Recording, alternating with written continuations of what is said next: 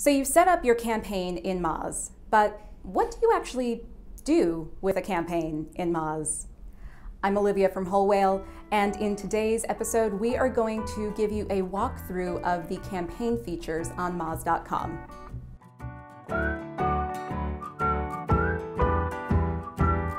If you're just tuning in, Moz is a fantastic resource at Moz.com.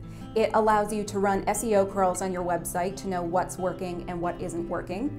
You can also use it for keyword research, for competitive research, and it's also just a fantastic learning module. We love their Whiteboard Fridays series. So once you've signed in to Moz Pro and gone under campaigns, you can look at the campaign dashboard for any of the specific campaigns you've set up. For instance, we're looking at whole whales right now, and one of the first things that we see are our top national keywords. These are the keywords that we are ranking for week after week. Uh, we're focusing on Google here. We can also toggle between other search engines. We can also look at the keywords specifically that are ranking numbers 1 through 10, that front page of Google search results, which is so crucial for getting organic traffic. We can look at our domain authority and also track it against uh, the domain authority for our competitors. This is the calculated credibility of your site. It breaks down by both the overall domain as well as any page on your site. And we can also look at our search visibility. This is the percentage of visibility that we have within search engines based on the keywords we're ranking for. We also can see the total visits that came from organic traffic in the last week, and as a pro tip, I recommend checking this against your Google Analytics metrics to make sure everything lines up. We can look at uh, further insights around a lot of our search visibility, ranking keywords. We can see what's moved up and moved down. For instance, our Ideas for Giving Tuesday keyword ranking has moved up. Giving Tuesday 2015 Ideas has moved down. We may want to uh, not focus too much attention on Giving Tuesday 2015 ideas, but may want to take some uh, work on our Google Analytics glossary so that we are moving back up for rankings for that keyword. Also within rankings, I'm going to walk you through some of the other areas that we find to be really useful in this for campaign.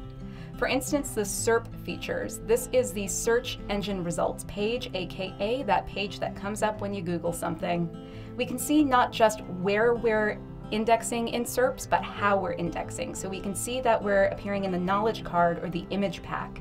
We can see what keywords are giving us what real estate within Google search results, which can make a very big difference if we are indexing around image packs, which we are doing for a lot of our keywords. That is going to give us a different level of search engine engagement than site links. And we want to make sure that we're getting a pretty healthy dose of both. We can also look at the landing pages within our campaigns to see an estimated search traffic by keyword and how people are landing on our page. If we were tracking keywords for whole whale uh, and keyword opportunities, we may get some more data here.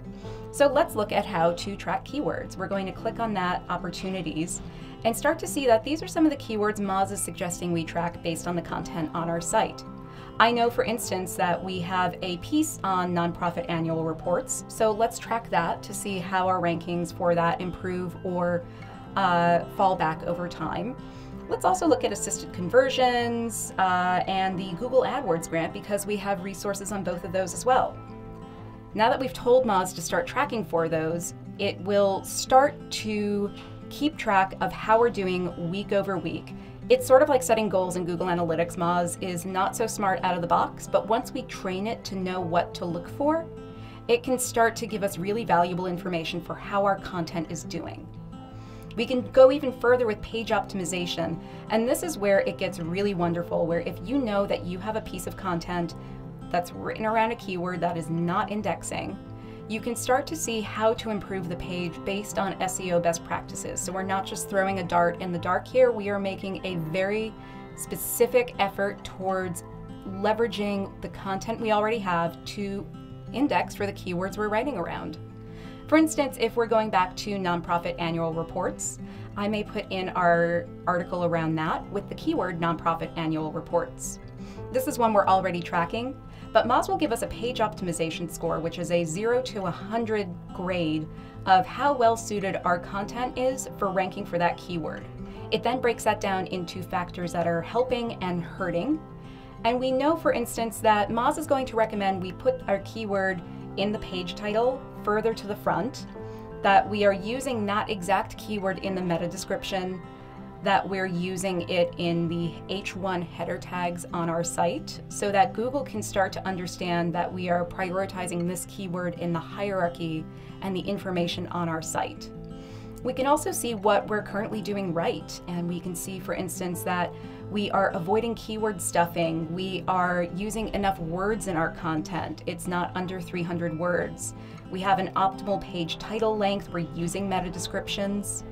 And then Moz will also give us content suggestions. So these are keywords that they would recommend we put in our content as well in order to tell Google that all of these synonyms mean that this page is suited to this keyword for search results. Many of these we probably already have in our content, and that's good. Some may not be as relevant to our content, but we can go through this as a checklist to see are we telling the robots of Google the information that they need to index our site. So let's see how this goes from theory to practice. This is Whole Whale's nonprofit annual reports resource at wholewhale.com/tips.